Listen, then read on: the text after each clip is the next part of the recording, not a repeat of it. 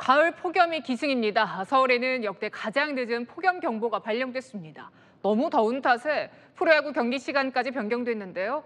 언제쯤 이 더위가 한풀 꺾일까요? 홍진우 기자입니다. 체감 기온 36도가 넘는 폭염에도 야구 팬들은 경기장을 찾았습니다. 양산, 시원한 얼음물 등으로 만반의 준비를 했습니다. 햇빛이 너무 강해가지고 양산이랑 모자 같은 거 챙겨왔고요. 어제도 저희가 경기를 봤는데 굉장히 땀이 많이 나더라고요. 얼음물을 미리 얼려놨습니다. 세 명이지만 네 통 얼려놨고요. 그늘을 적극적으로 이용해서 좀 9회까지 잘 버틸 수 있도록 하려고 합니다.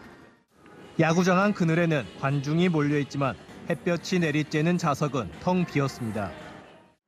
뜨거운 햇볕에 달궈진 좌석의 온도를 재봤더니 70도에 육박합니다. 어제 오후 2시에 경기를 시작했던 부산 사직, 인천 문학구장 등에서 온열 질환자가 속출하면서 오늘은 오후 5시로 긴급 변경했습니다. 유례 없는 늦폭염이 이어진 가운데 오늘은 강원을 제외한 전국 대부분 지역에 폭염특보가 내려졌습니다.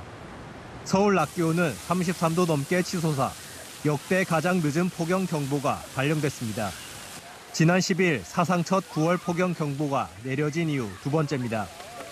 밤새 최저 기온도 26.5도를 나타내며 추석 당일 첫 열대야도 기록했습니다. 양산 37.2도, 김해 36.9도 등 전국 곳곳에서는 기상 관측 이래 9월 중 가장 높은 기온을 경신했습니다. 폭염의 기세는 모레 전국에 비가 내리면서 한풀 꺾일 것으로 예보됐습니다. 다만 기상청은 이달 하순까지는 평년 기온을 웃도는 더위가 이어질 수 있다고 내다봤습니다. 채널A 뉴스 홍진우입니다.